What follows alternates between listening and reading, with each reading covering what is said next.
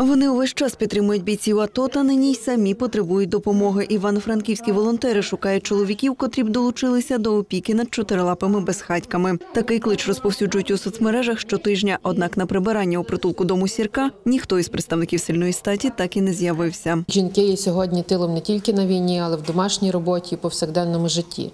Я часто бачу в соцмережах, як чоловіки мило фотографуються з собаками в зоні бойових дій. Однак е, чоловіки, які тут знаходяться і не воюють, вони сьогодні не є солдатами. е, Вони водночас не можуть прийти в притулок і чомусь присвятити кілька годин свого, свого часу, щоб щось допомогти.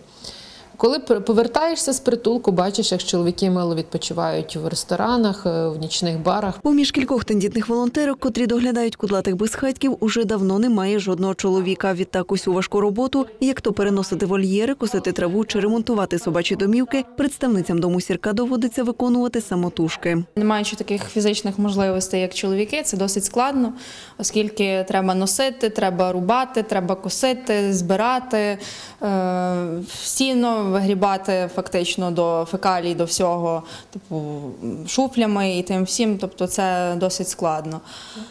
Е, Загалом нам дуже не вистачає робочої сили. Сітки перегрижені, нам треба натягувати сітки, нам треба е, робити гачки спеціальні, які будуть нормально тримати двері, тому що собаки вигризають, вламують двері. Нам потрібні чоловіки, які е, можуть робити зварювальні роботи.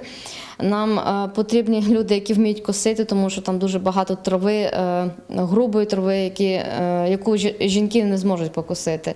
Нам треба чоловіків, які зможуть зробити буди, тому що матеріал є безкоштовний. А зробити, привести до ладу, звести до одного єдиного цілого нема кому. Нині під опікою дому сірка перебуває майже чотири десятки чотирилапих, а ще недобудована споруда притулку. Тож уже від літа розпочинають підготовку до зими і закликають небайдужих чоловіків навідуватися туди бодай раз на місяць, щоб таки полегшити і так нелегку справу жінок-волонтерів. Наталія Лозовик, Віталій Савчук, телеканал 402.